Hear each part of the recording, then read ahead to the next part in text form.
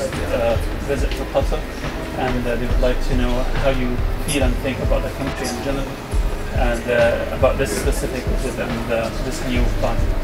Actually, I came already a few times in Qatar, and uh, but this uh, particular building is uh, is interesting because it is it's a tall one.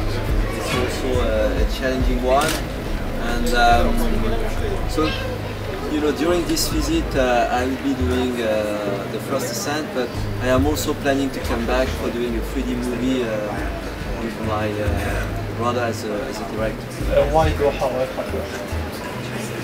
Because the first time I saw uh, I saw this building, I found it really uh, really interesting.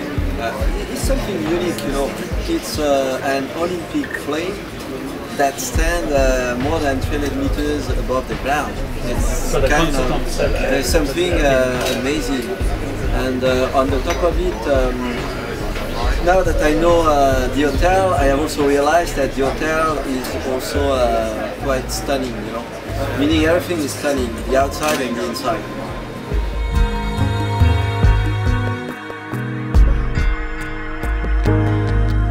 The design of the building add to the challenge or uh, visibility of the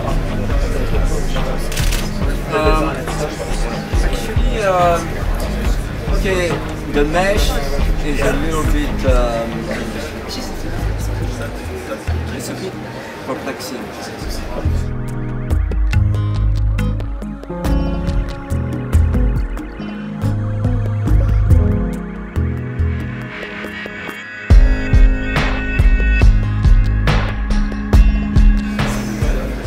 Say uh, annoying, but it's not that it's not that easy. It's not that. Uh, I know that. Well, fortunately, I am having four limbs, so it means that I, I will be uh, dividing my whole body. You know, I need to, to, to spread my way as much as I can.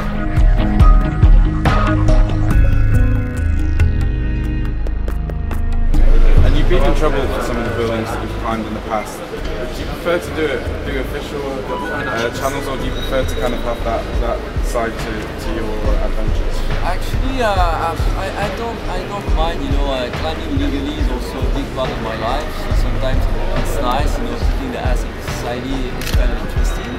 And um, but you know, there is finally some uh, countries which um, I have always been uh, welcome, like uh, Qatar, like the finally, uh, when I am when I am here or when I am there, I don't really break. Anything else in Qatar that you can see yourself climbing? In There is, uh, I saw a, a nice building, you know, with a funny shape, which uh, it looks like nice.